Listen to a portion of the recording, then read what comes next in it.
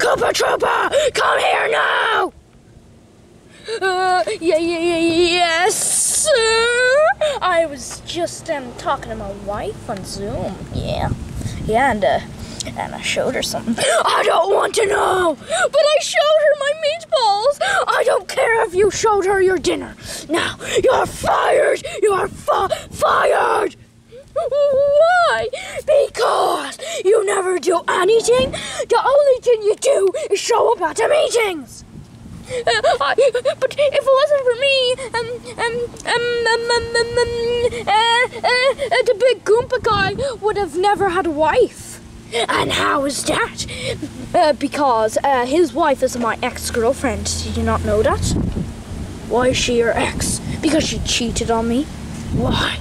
I don't know. Why? I don't know. Why? Tell me why! Ah, okay, I actually cheated on her and she broke up with me. Oh.